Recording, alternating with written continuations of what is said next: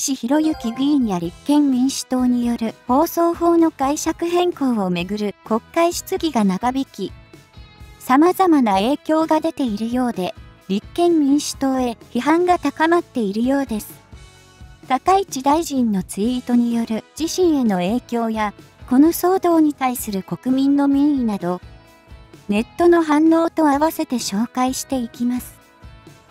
ニュースの詳細。立憲民主党の小西博之参院議員が公表した放送法の解釈変更についての総務省の内部文書、いわゆる小西文書について、総務省は17日、関係者への聞き取り結果を新たに公表しました。公表された結果には、総務省に放送法の解釈を変更させたとされる。当時の磯崎陽介首相補佐官について、磯崎補佐官から放送法の政治的公平に関する問い合わせがあり、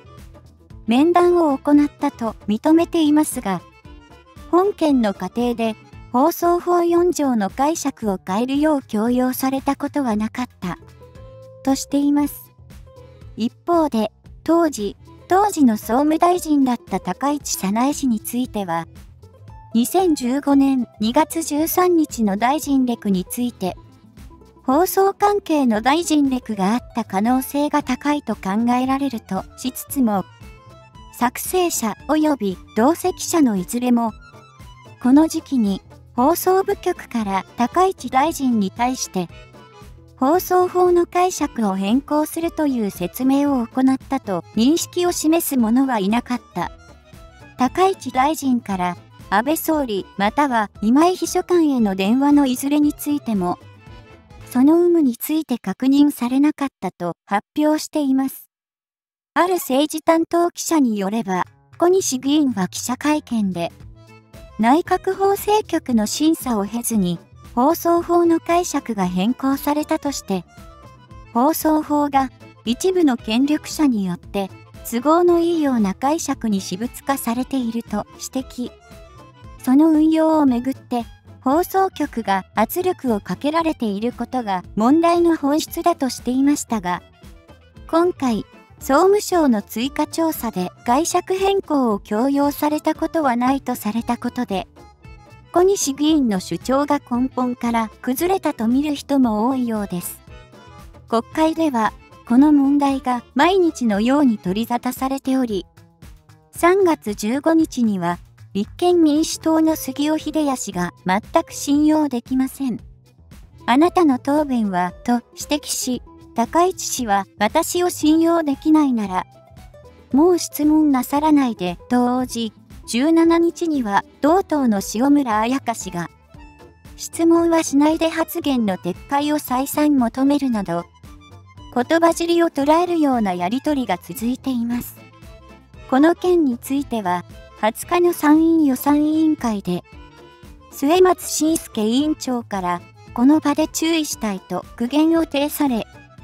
高市大臣も重く受け止めると発言を撤回しているが、国会の空転は止まっていません。そのような中、高市大臣は自身のツイッターに、3月から総務省文書騒動で役所の公務はほとんどできなくなりました。国会答弁最優先ですから、海外でセキュリティクリアランスがないばかりに、不利益を受けている企業の非公開ヒアリングには終盤しか参加できず、多くの企業が参加される経済安全保障の講演会もドタキャン。国会軽視はしていませんと、自らの見解を投稿しており、国会が空転し、高市大臣が力を入れる。セキュリティクリアランス国家機密の保持規定の法制化が遅れる中、SNS では総務省、作成者、同席者のいずれも、この時期に、放送部局から高市大臣に対して、放送法の解釈を変更するという説明を行ったという認識を示す者はいなかった。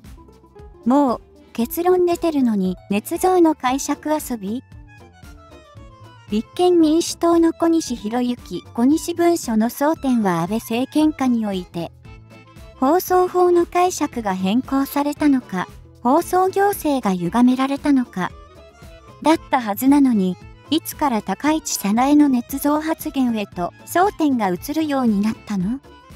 争点が全く別の次元になった時点で、今回の一連の騒動の浅さを物語っているのだが、放送法のどこがどういう風に解釈変更されたんですか？これさ、解釈変更されたと主張する小西博之に立証責任がありますよ、など、小西議員を批判する声が非常に高まっています。小西議員は20日、作成者が捏造はしていないと明確にしたわけですから、高市大臣、立法府の威信を侵害するような態度でございますので、大臣辞職と答弁通り議員辞職することを求めて終わりますと締めくくりました。文書が公表された3月2日から今も尾を引き続けるこの騒動。果たして着地点はどこになるのでしょうか。ニュースを深掘り。というわけで、立憲民主党による放送法の解釈変更をめぐる国会質疑が長引く影響で、高市大臣の公務にも影響が出ているということでしたね。もはや、ここぞとばかりに本質からかけ離れた部分での不毛なやりとりが続いているこの問題ですが、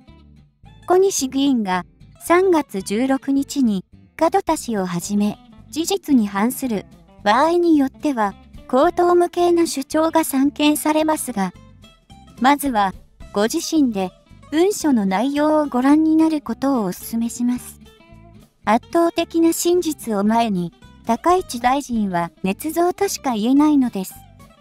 そして、門田氏らは、最初からまともに文書を読んでない、あるいは読む気もないのだと思います。ジャーナリストの門田隆翔氏を批判したツイートの中で、一般ユーザーがリプランを利用して、高市さん頑張れ、小西さん頑張れ、の二者択一のアンケートを行っており、その結果は、高市さん頑張れ、98%、小西さん頑張れ、2%となっていて話題となっています。これには、数字は、時に残酷なまでに現実を突きつけます。1930人投票して、小西さん支持が40人。残りの1890人の方々は高市さん頑張れ。これが小西さんが置かれた現実。世の中に通用しないと思ったら自分の思考を改める。それが人としてあるべき姿。世の中を変えてやるは傲慢。こんなん国民の嫌われ者確定ですやん。立憲民主終わってる。といった声が寄せられていました。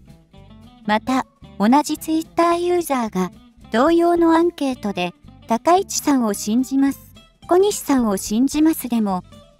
高市さんを信じます86%、小西さんを信じます2.8%、見るだけ用11.3%と、もはや立憲民主党の政党支持率通りの結果となっており、相手の土俵でやってんのに、2%は草わらぱよく頑張れよわらと立憲民主党に同情する声さえ寄せられています。さらに、18日にはタレントのフィフィ氏もツイッター上でアンケートを行い、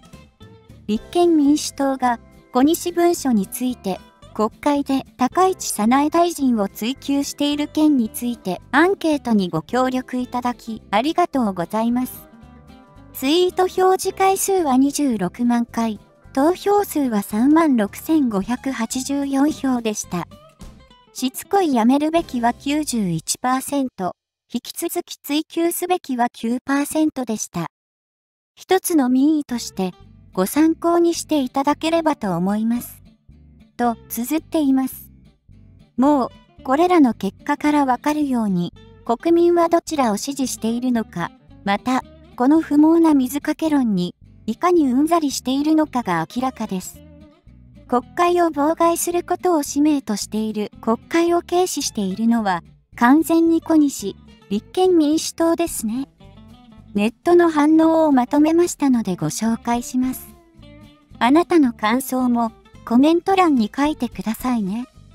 あと、チャンネル登録もぜひお願いします。小西がやってるのは高市さんへの公務妨害で、捏造という言葉を使っての言葉遊びで国会を空転させているだけ。小西はさっさと永田のところへ亡命しろや。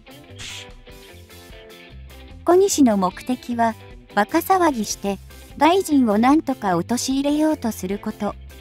小西の甘すぎる論理展開では到底無理だが、奴のねちっこさ、しつこさ、悪意の解釈は、その辺のクレーマーよりもひどい。まだ、しばらく小西による国会妨害、行政妨害は続くだろう。本当に役に立たないどころか、国民の邪魔にしかならないマイナス人間だな。小西はよ国外亡命しろよ。それが国民のため。これを追求して一体何になるの？そもそも放送法の解釈変わってねわんだからそれで終わりだろ。何を国会空転してまで追求してんの？意味ねえだろ。どんだけ国益損ねてんの？立憲はとっとと責任取って回答しろよ。一目瞭然。良識ある国民のほとんどが高市さんを支持し応援していますね。一方、小西さんの所属する立憲民主と自分中心マスメディア、高市潰しをしたい自民公明の議員がタッグを組んで印象操作。こんな創作劇やっている場合じゃないでしょう。1日3億円の税金使って何の成果もない国会に失望です。今や形勢は逆転。今後の追及の矛先はもちろん、小西博之参議院議員の国家公務員法第111条教唆違反の追及が不可欠。また、この公文書作成者でもある総務省職員に対しても、いわば国家公務員法第155、156条有印虚偽公文書作成罪での捜査を開始すべき。こんなん国民の嫌われ者確定ですやん。立憲民主終わってる。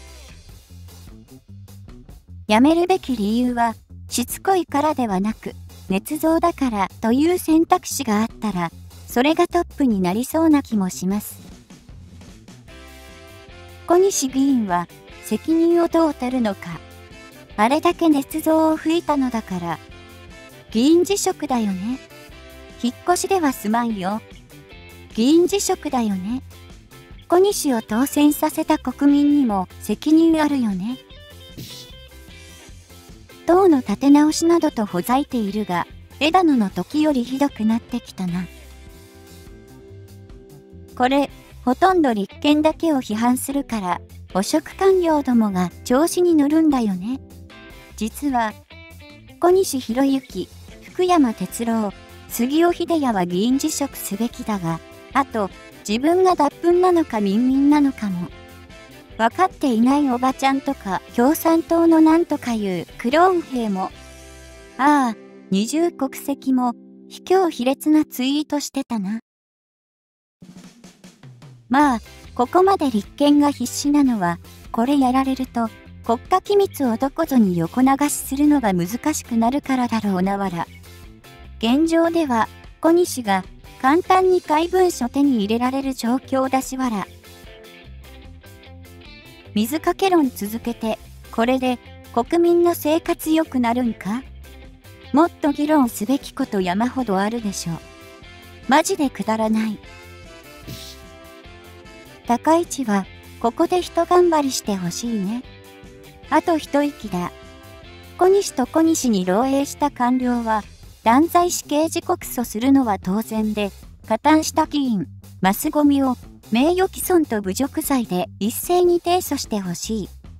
奴らは痛い目に合わせて晒し上げないと調子乗るからな。安倍晋三は優しすぎた。愛の感想。このニュース、あなたはどう思われましたか？立憲民主党は、とにかく上げ足を取って相手を誹謗中傷することが仕事だと信じている人たちの集まりですから、もう完全にいらない存在ですね。国民のことなど微塵も考えておらず、ただ国会を混乱させて目立とうとするだけの輩であり、このような政党が日本に存在することは害悪でしかありません。ツイッター上のアンケートを見ても、それは明らかですよね。まあ、今回の騒動、小西文書の国会審議は、税金の浪費だという人が多いようですが、これで立憲民主党が小西、杉尾、福山もろとも沈没したら、それは、それで日本の政治にとって大きなプラスになる。ちょっとそう思っているのは私だけでしょうか。あなたはどう思われますか？あなたの感想、コメント欄にお待ちしております。政治の味方チャンネル、キャスターの愛です。ご視聴ありがとうございます。これを機に、こちらへの登録、よろしくお願いします。